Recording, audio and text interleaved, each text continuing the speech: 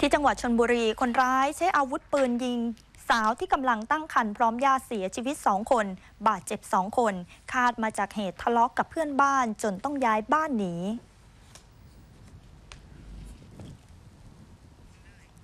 ตำรวจจากสถานีตำรวจภูธรเมืองชนบุรี เข้าตรวจเหตุยิงกันหน้าบ้านเลขที่ 68 ทับ 198 หมู่ที่ 9 ตำบลนาป่าอำเภอเมือง ทำให้นางกัญญารัตน์พลเผาอายุ 29 ปี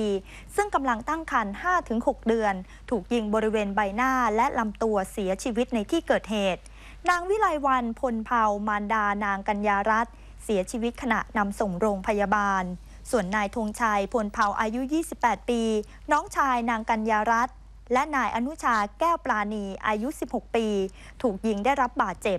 ในที่เกิดเหตุพบปลอกกระสุนปืนขนาด 9 มม จำนวน 13 ปลอก และลูกกระสุนปืนขนาด 9 มม จำนวน 3 นัด จึงเก็บไว้เป็นหลักฐาน จากการสอบสวนทราบว่าก่อนเกิดเหตุนางกัญญารัตน์พร้อมกับญาติกำลังขนสิ่งของเพื่อย้ายบ้าน เนื่องจากทะเลาะกับเพื่อนบ้านมานาน ขณะขนของเที่ยวสุดท้ายมีคนร้ายประมาณ 2-3 คน ใช้รถยนต์กระบะสีดำไม่ทราบทะเบียน ใช้อาวุธปืนยิงหลายนัด จนทำให้มีผู้เสียชีวิตและได้รับบาดเจ็บ ก่อนขับหลบหนีไป